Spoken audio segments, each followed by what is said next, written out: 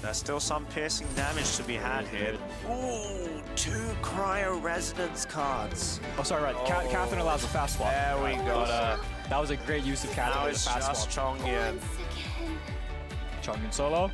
Quit with the Gamblers here to produce the extra Elemental, or rather the extra Omni die. There it is.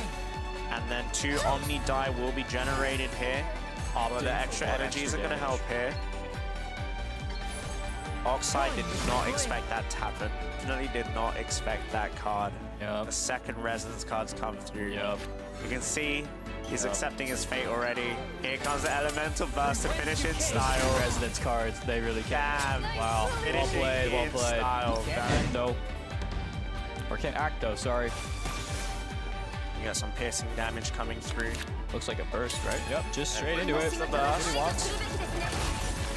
They're going for it. I Oh my- believe. I believe. there's They're doing- absolute- Yes, oh the my. Frostwing. I love to see it. Oiprox, that is the correct move, I believe.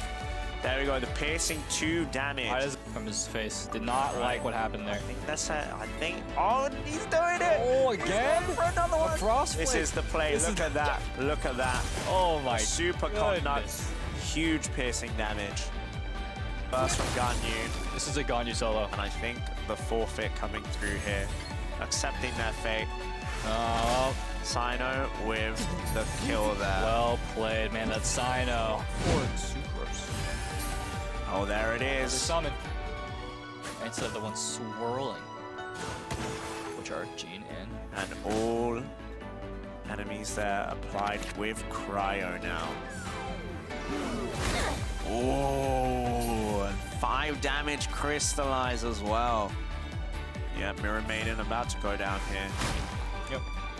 And no more Hydro appliers remaining.